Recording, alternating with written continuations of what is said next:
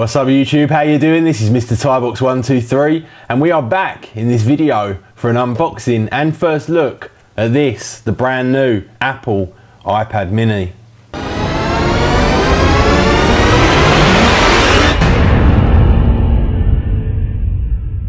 So, sorry I've been away for such a long time guys, I've just been catching up on so much work after my holiday.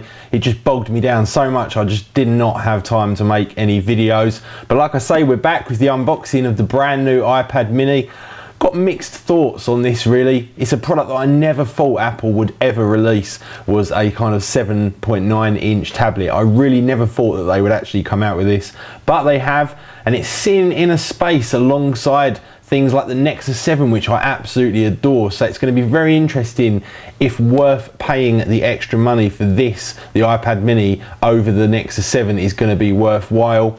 Over the next few weeks, we've got loads and loads of decent products coming in. We've got the Nexus 4 phone I'll be getting in, got the Nexus 10 tablet with that beautiful resolution as well. Absolutely can't wait for that one. We've also got a couple of Windows Phone uh, 8 devices along with the Microsoft Surface and also the Galaxy Note 2. So plenty of stuff happening over the next few weeks. Glad to be back with you guys as well. Thank you for your continued support. So the iPad mini, let's actually get into the unboxing itself. I've gone with the 64 gig black version, mainly because in terms of color, I've got the white main, you know, the big 9.9, uh, yeah, 9.7 inch iPad. So I decided to go black with this one. I've also got a white iPhone as well. So gonna go black with this one and see how it comes out. I've gone for the 64 gigabyte version because I'm always running out of room on my 32 gigabyte normal sized iPad. So gone with the 64 gig on this one. And this came in at 429 pounds, which is a reasonable amount of money when you compare it to the likes of a Nexus 7, for example, which is significantly less, albeit that it doesn't have the 64 gigabytes of storage.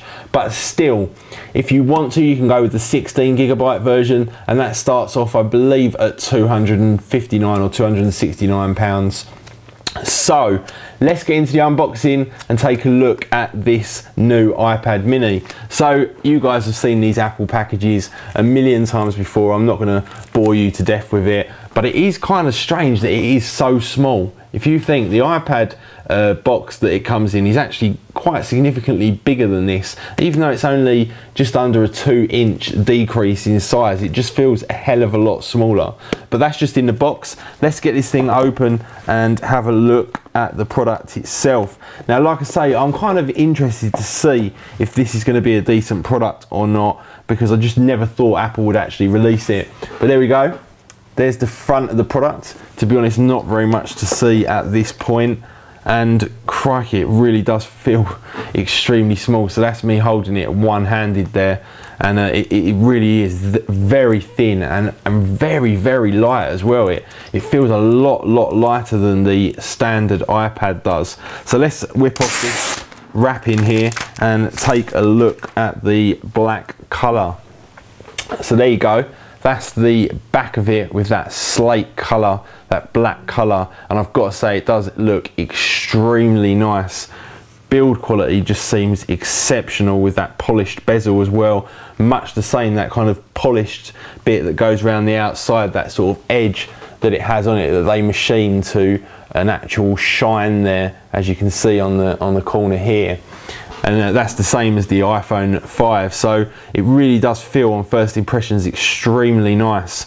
So on the back there we've got the rear camera on the top and I'm glad to say they have put it on the top. We've got the 3.5 millimeter headphone jack. I hate having it on the bottom of the iPhone 5 let me know what you guys think. Also on the top there we've got a microphone and we've also got on the top the on off switch as well which is kind of strange obviously on the iPad Know on the iPad it is on the top We've also got the mute or rotation switch and then we've also got the volume up down buttons and they do look of exceptional build quality I've got to say.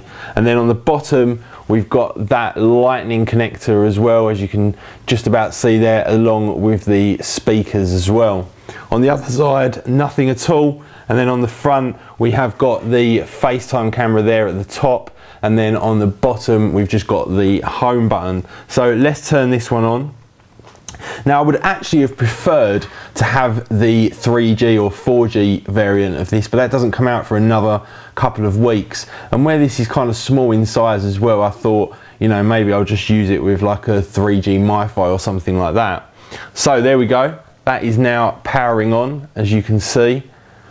Now, in terms of the actual pixel density, we've all got used to, or some of us have got used to the Retina display, not only on the MacBook Pro, but obviously on the iPad as well. And I am a big ambassador for the Retina display. I know some people think it's just a waste of time, but I absolutely love it. The crispness of text alone is a reason to have that new Retina display.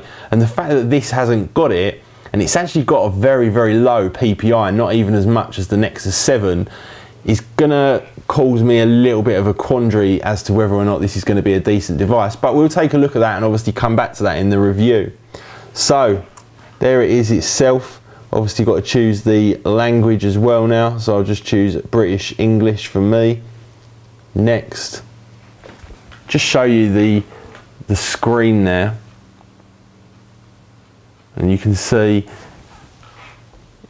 you can see immediately that the text is not quite up to scratch with that of the Retina iPad, the iPad 3 or 4th generation now as they have started to call it. It's definitely not up to scratch with that. You can just about make out the pixels and it just doesn't have that crispness either. But, you know, maybe it will still be a decent screen when we get into it.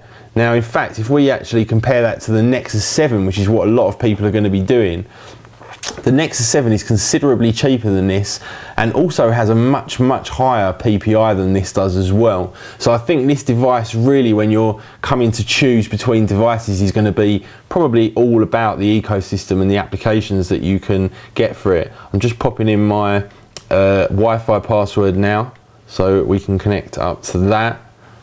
And you can definitely see, I mean, you probably can't tell on the camera because the Obviously 1080p probably won't be up to par, but you can definitely tell the difference between the text on this and the text on the Retina iPad. Big, big difference. It's just activating the iPad now, but it does fit in one hand. I actually thought it'd be too big to fit in one hand. I thought the guy in the advert had huge hands, but it does fit in one hand and it's kind of nice to hold as well. It does, it does sort of make you wonder whether or not this should have been the size for the original iPad um, and then maybe brought out the, the bigger one at a later stage because it does seem a lot more convenient to have this kind of size. That the big iPad really is a lot lot bigger than this and in fact I'll just take it out of uh, the case that I've got it in and just show you a quick comparison of the sizes between the two. So getting all stuck here. So normal iPad mini iPad and you can see there is quite a significant difference between these two. And in fact the iPad 3 is a lot heavier than this mini iPad and I mean a lot heavier. It feels almost as if it's more than double the weight. Extremely heavy huge huge size difference between these two products. And in fact if we put them on top of each other you can get an even better feel for just how much bigger the previous iPad is, or not the previous, but the larger iPad is. So there's a big difference between them. And in fact, I'll just get my beloved Nexus 7, which I've kind of fallen in love with over the past few months, just to show you a size comparison of the Nexus 7. We'll just put the Nexus 7 over the top of it, and you can see not really a huge difference in terms of size. The Nexus 7 is considerably thicker than the mini iPad if I just get a, a close up there, you can just about make it out. The, the Nexus 7 does have that kind of big curvature to it, which hides a lot of its thickness. But if you actually put them together like that, and you take into account that depth that we have here on the back of the Nexus 7, it is considerably thinner than the Nexus 7. In terms of weight, it actually feels a little bit lighter than the Nexus 7 as well. But in terms of the actual screen real estate, if we just hold both of these two up, you can see that the screen real estate on the iPad is significantly more than that of the Nexus 7. Uh, the Nexus 7 has bigger borders around it and the difference in the screen size is actually quite noticeable as well. So, you know, we'll come back to that and we'll maybe do some comparisons between the two if that's what you'd like to see. But we're just finishing off the initial installation here of the iPad mini set up as new iPad. Sign in, I've just got to put my Apple ID in. So pop this in. So here we go guys. There is the actual main home screen there of the iPad. I'm just going to bring this really, really close in and see if you guys can actually make out the pixels themselves on the text. And in fact, what we'll do is we'll actually hold up the, the iPad 3 next to it. It's upside down at the minute, but if I just hold that really close up, you can see, I can actually see on the screen here of my video camera the clarity of those letters. And then if you hold this one up, I think there's a significant difference there. And in fact, there would be obviously because this is a retina and this is not. And I, I, do think that it is a bit of a mistake from Apple to not go with the Retina display, even if it would have delayed it a little bit, just to keep in the theme of all their latest products having that Retina display. And to me, it really does make a huge difference in terms of reading and writing and various other bits and pieces as well when you're actually doing any kind of productivity uh, with the iPad. But anyway, guys, there's the unboxing. I have rabbited on a little bit, but I've been missing you guys for a few weeks now. So there we go, the iPad mini. Going to be back tomorrow with another unboxing of another Apple product and then we will also be back very very soon with a whole range of products like I said the Nexus 4 phone, the Nexus 10 tablet, the Windows phones from Nokia and HTC, maybe even Samsung as well, the Microsoft Surface, whole bunch of decent products coming out over the next few weeks that I'm going to get my hands on. So there we have it guys, the iPad mini. Thanks very much for watching. Please do hit that like button for me guys and I will see you all in the next video.